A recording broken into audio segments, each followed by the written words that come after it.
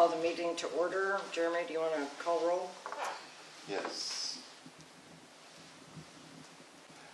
Bradford, Here. Leeper, Here. Hamel, Hannaford, Here. Decker, Here. Eaton, staff. Okay, we have quorum. Uh, Item three, approval of minutes of the December 12th, 2023 regular meeting. You guys had a chance to review the minutes.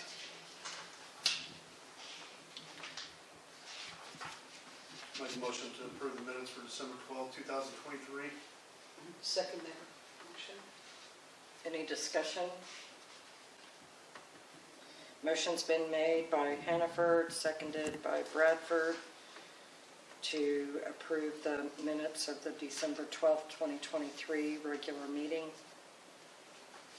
Roll call vote?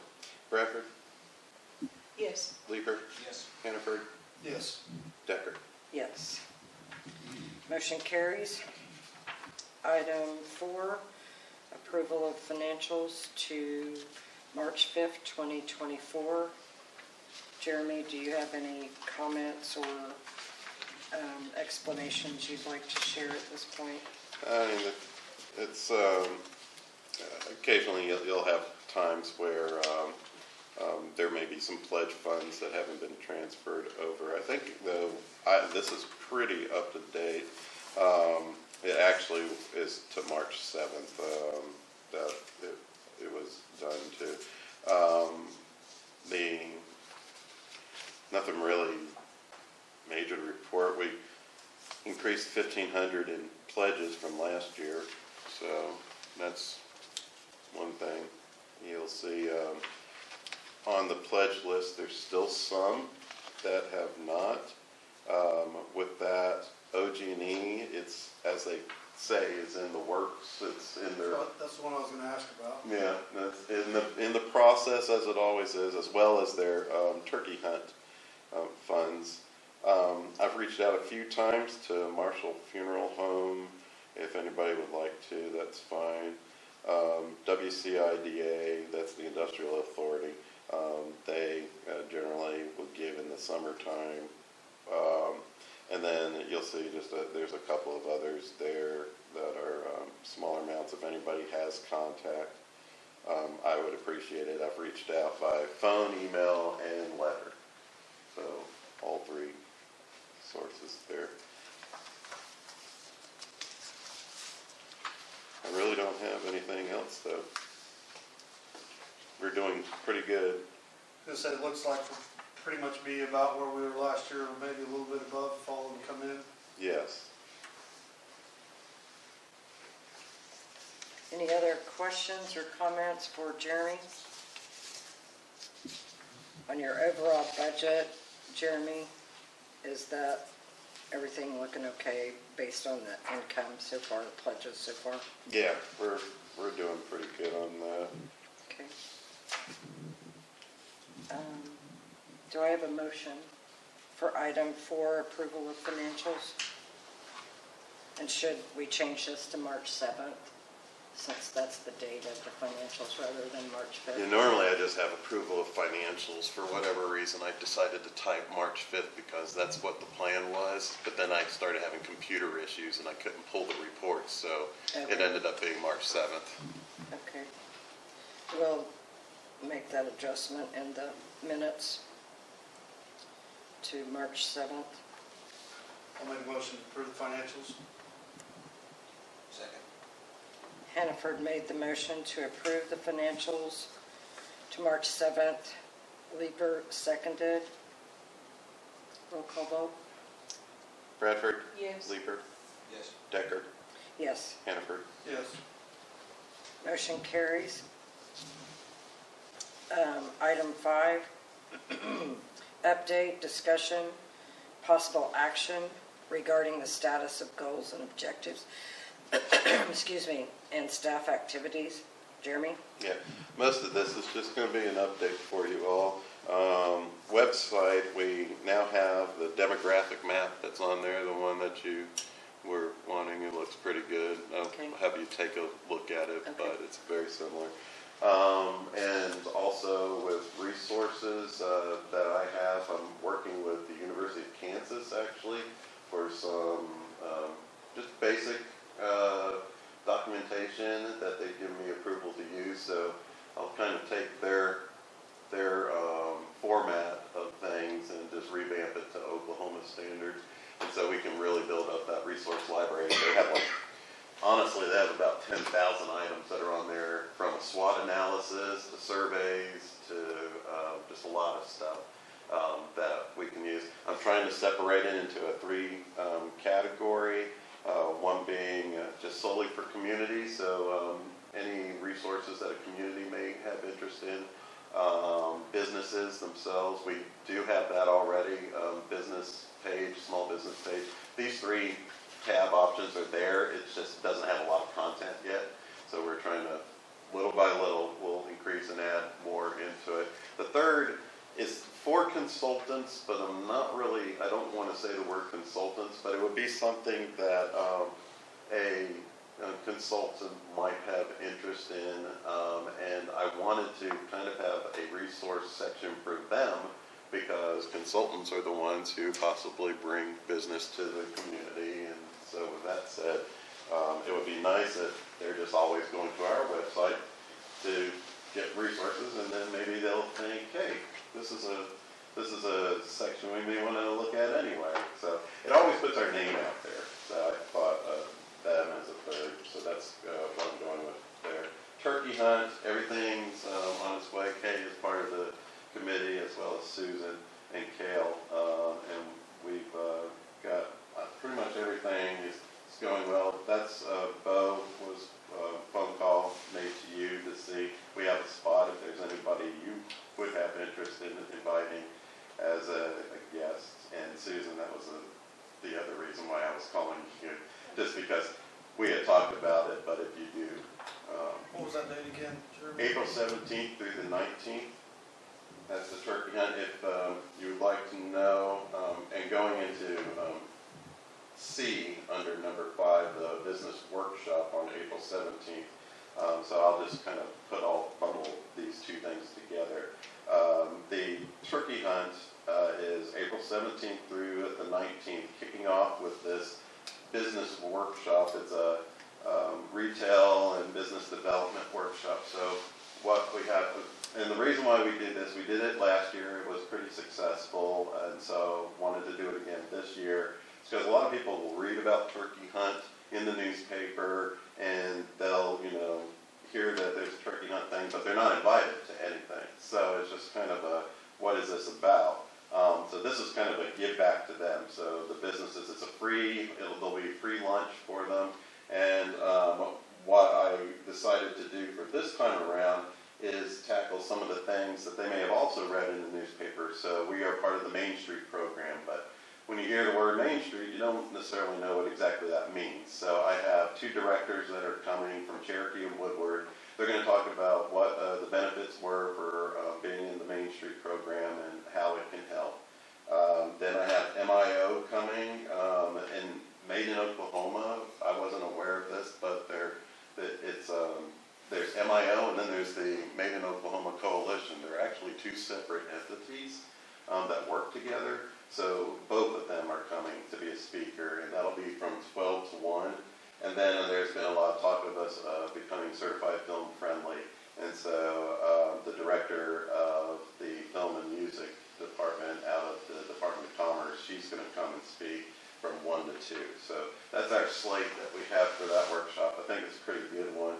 Um, and you know, best of all, it's free. So it's free to our, our community and anybody who's coming to it, as well as we don't have to pay our speakers. So I think that's a, a win-win. Uh, the later that day usually is when most of the guests start coming in and they'll get to the headquarters, which is still at Cheryl's um, barn, yeah. And um, that's where the dinner is planned to be. Um, they uh, usually come in and, and they'll, there'll be food that's there for them, but nothing um, happens really Wednesday evening. Uh, Thursday, usually in the morning, they're out hunting, and then we have a tour that's set we did this tour last year, but we were expanding a little bit more to include Freedom this time. So we're going to start at Freedom, um, Freedom Chop House. I actually talked to Mayor Herrera last night, and uh, we're talking about having food that's going to pretty much be ready for them when they get there. So that'll give them some time to go to the museum uh, that's in Freedom. And then they will uh, drive from Freedom or whoever they're riding with to Waynoka, we'll do a tour of the Harvey House, and we'll do America's Oasis, and um, they'll also uh, have uh, uh, Anna Maria with America's Oasis. We'll have UTVs for them to go and ride in the desert, so a little little joyriding, a little fun. After that will be the Lieutenant Governor's Turkey Dinner, which um, starts well. It really starts at about 5:30, wouldn't you say? Yeah. But six is when when it really is kicking in. Lieutenant Governor himself usually appears around the 7:30 mark. Um, so he will be there. There will be a live auction. All of you, of course, are invited, but um, uh, that's generally uh, what what's taking place there. The um, there is going to be a community type vendor section that we're having where there'll be tables. So Waynoka will have a table, and Alva will have a table, and Freedom will have a table. Maybe Avard will have something if they so want to. Uh, and just have uh, material that's there to kind of uh, to just uh, promote themselves to anybody who is there. So Waynoka, if they so decide to have America's Oasis on their table, that's perfectly fine. Museums, um, there'll be opportunity for them.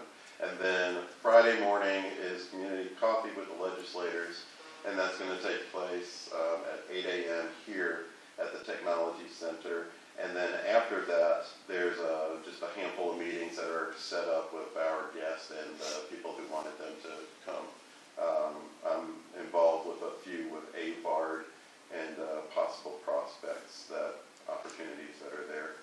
And so, uh, yeah, that's pretty much the, the lineup for the turkey hunt. Uh, any questions? So if any of you have colleagues or people you've been working with or companies you've been working with who would like to come participate and maybe they can't do the hunt part, but they'd like to come to the dinner, please let Jeremy know because we'd be happy to invite them. Um, You don't have to hunt to come to the dinner, but I think sometimes that, that's a piece of it that we don't um, focus on enough. So any, any entity that is benefiting the university, the community, the hospital, the city, whatever. And of course, um, we've got Northwest Technology Center, if you want like a room reserved to meet with somebody, um, obviously the university, probably would have your own spot. But if you want to just set up an informal meeting at the headquarters, you can do that too, because that room is usually available. And I saw a lot of conversations that were just going on, um, during, throughout the whole, um, three days last year. And so that's an opportunity to go out, um, there's food for them to eat, and they just kind of a more relaxing environment instead of an actual formal meeting room. Any questions, comments, discussion? Okay, Thank you, Jeremy. Um, Item seven, Jack, I'm fixing to hand this off to you. I mean, six, Are we on six? yes. I thought we, oh, yeah, You we did. fixing to? Um, I do have a one o'clock, I so. saw you guys got, kind of laid that on me when I missed the meeting that night. Yeah, you're vice That just chair goes to show you, Yeah. yeah, that just goes to show you what happens. I know, I knew better than that. Go ahead, Jeremy. Um, so number six uh, is just really, uh, we talked about it last year at this time, so uh, donor appreciation, we've done dinner the last two times. Would you care to do a mixer this time? Um, and I give kind of an example of the, the two types, or would you want a dinner and then what sort of date are we looking at for it? And if you have any guest speaker preferences, I can reach out to them now also. Any ideas? I think we were toward the end of October this last time, weren't we? I think so, yes. And, There was the Northwestern Oklahoma State University's alumni, was it Yes. alumni? yeah, the foundation was holding their donor dinner also.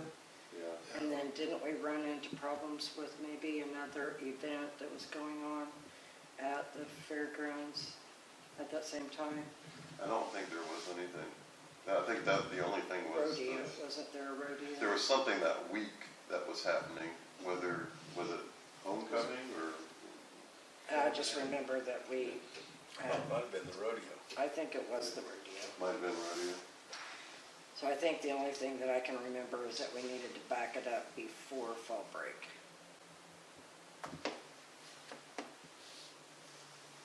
And generally Tuesdays are the days that, uh, seem to work best. Do you think maybe that eighth? Is it October eighth? That'd be the week before, I mean, our fall break, 'cause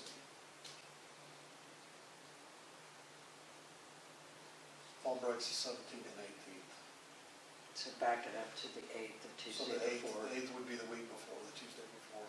And the previous donor dinner was closer to something like the eighth. It was around the first week of October, and then we moved it. Yeah. So you want, does that work for everyone? Yeah, so far. It's, October uh, the eighth would not work for me, but if that's just one, that's fine. What, what do you got, Jack? Well, that would be, that'd be taking, I have a group of students at Tulsa at the State Fair every, I mean, that would, I'm sure that's, that's probably pretty close. That sounds very close. It may be, I'd look at mine, but it- don't, don't worry about it, that's, that's something that's, that's okay. Well, I figure that's, that's an action that y'all will want to uh, vote on. that day. If you did a poll or something, sit on a poll, You want to do something like that? well, or, I mean, Can at we least do- send that to everybody, you could, everybody could kind of check the calendars that aren't here and see if. Okay. Then we can vote on it at the next meeting, Jeremy. Do hmm. it that way.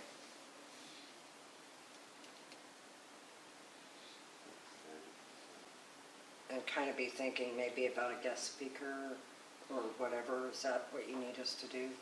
Yeah. Does everybody like the meal? I mean, what, what we've been doing? I thought it was really nice, but, I mean, I I don't know what the thought of going to heavy hors d'oeuvres would be, The heavy hors just to change it up a little. It, it was um, something I had seen Ponca City do, and they had kind of stations that were around. So if um, somebody wanted to have a station about their pool project or America's Oasis or the museums, and then just kind of a, a walk around to see what's happening in the communities is what they did. It was something that I had brought up last year. We decided to just do the dinner, and it's fine if we just do the dinner again this time. It's just a different a different thing. We still do a presentation, we still have a guest speaker, um, but it's just something that opens it up.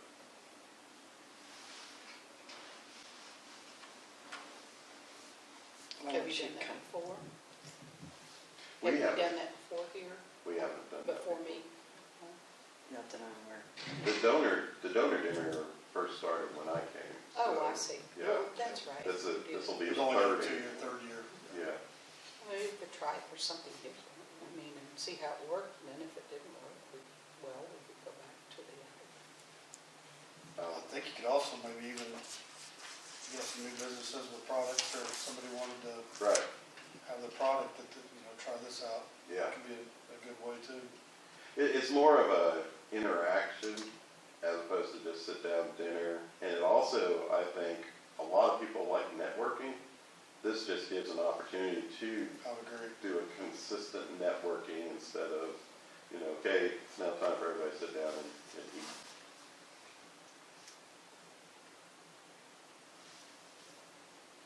Anything else, Jeremy? No, that's it. Okay. Now, item seven. Um, with, Woods County Industrial Development Authority, um, not a lot to report there. But we're, um, going to be doing the audit. Uh, we haven't really got much into it, um, but the audit is, uh,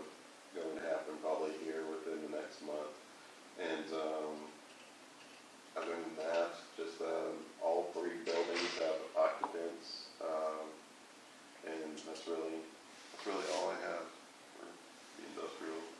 Any questions, comments? Okay, moving forward, item eight. Um.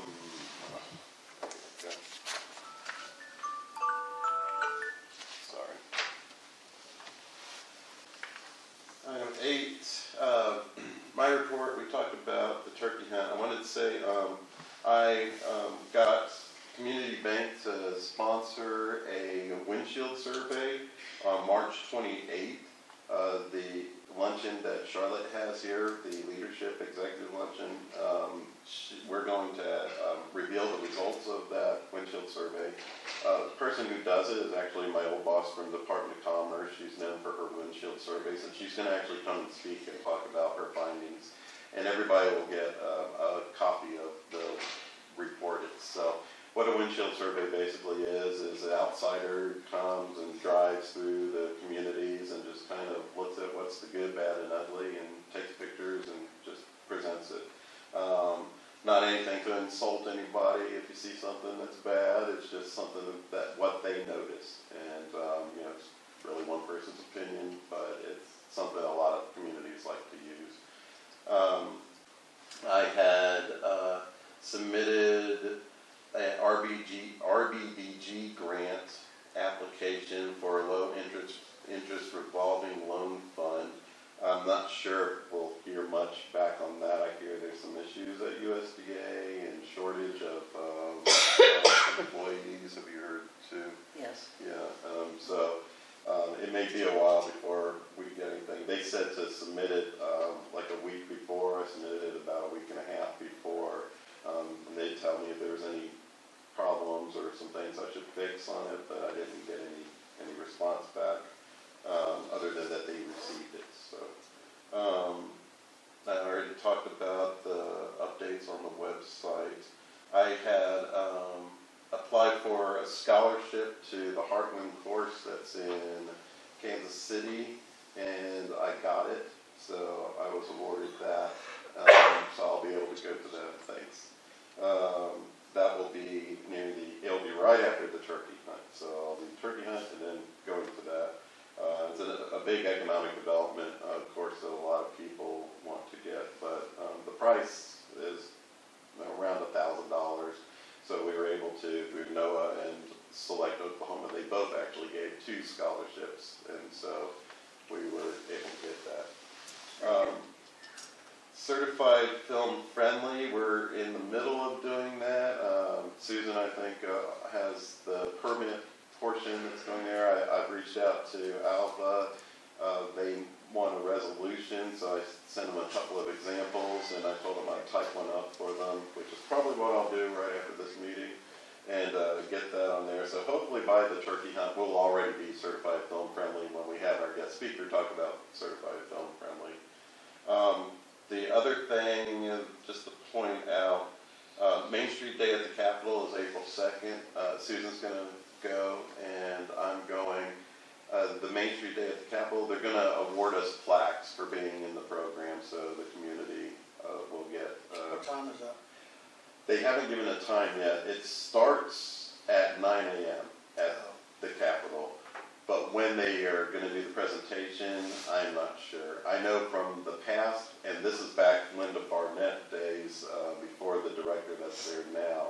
Uh, they stopped doing that, Main Street Day at the Capitol for a long time due to renovations and then COVID. Um, I think they usually about ten to ten-thirty. It was when the legislators were out of session. It was that, that little gap in between. So they would have that presentation. Sometimes it's, um, one time it was the governor, one time it was the lieutenant governor, one time it was just a director of commerce. So I'm not sure who will present, but it's a good little PR opportunity. We'll get some pictures if you want us to, send it to you. Um, the other thing is I attended the OK Sites workshop that was by the Department of Commerce. This is going to be a free opportunity for any sites, industrial, anything that it, you are aware of or you might have, um, 15 acres or more uh, that would be in a possible shovel-ready, site-ready type situation. And so it goes through their process and it's free. Um, they had a previous ordinance or a previous program called Site Ready Program, which is actually the one I created while I was at Department of Commerce. And there, it went through the third-party consultants for a thousand dollar fee, so that thousand dollar fee is now waived. So any um, sites that are there, and then it just becomes more of a marketable opportunity for people um, to see that, um, you know, for any business opportunity prospects that come in. And that's all I have on the economic development report. Any questions or comments for Jeremy? Okay, item nine, motion to enter into executive session pursuant to Oklahoma statutes 25, 307.B1 for the purpose of discussing the employment evaluation of Jeremy Zeller. Do I have a motion? So moved. Second. Okay. Bradford made the motion to enter into executive session at one thir, or twelve thirty-five. Hannaford seconded. All in favor? Excuse me. Okay.